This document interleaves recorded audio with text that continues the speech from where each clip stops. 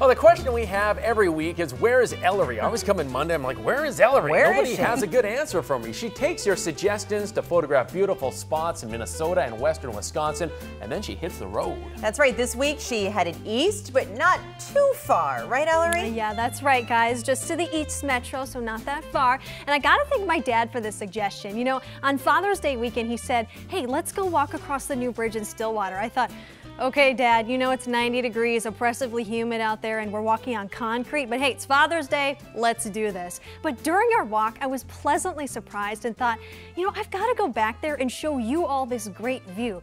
So come August, St. Croix Crossing will be one year old. It replaced the old Stillwater Lift Bridge, and while I've driven across it, I've never gotten a good view from the deck because I was driving.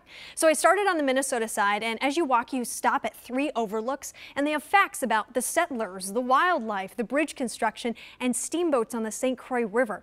I love architecture, so seeing the extradosed bridge design up close with its stay cables, great to capture on camera. I was totally nerding out. But the view of the St. Croix River as you walk closer to Wisconsin, it just gets better and better. I mean, look at that shoreline. In the distance, you also get a good view of downtown Stillwater and the boats docked. I went out yesterday when the rain just passed, so there were only a couple of boats out, but you can see on the water just how windy it was. Wow. And when I say windy, I mean to the point where I had to hang on to the railing at times. Wow. Glad I didn't wear a hat. It would have lasted probably two seconds. So I've got a great list of photo stop ideas from you all. Thanks for your messages, but I'm still taking your suggestions, so find me on kare11.com and on social media. And I gotta tell you guys, I saw two people on Segways no. on the bridge. Awesome. Segways. Yeah.